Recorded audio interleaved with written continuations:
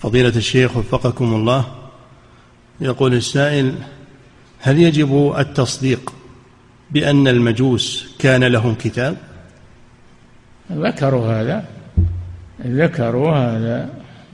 والنبي صلى الله عليه وسلم أخذ منهم الجزية عاملهم معاملة أهل الكتاب أخذ منهم الجزية.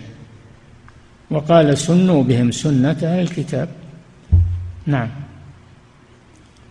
إعداد مشروع كبار العلماء بالكويت أعزها الله بالتوحيد والسنة.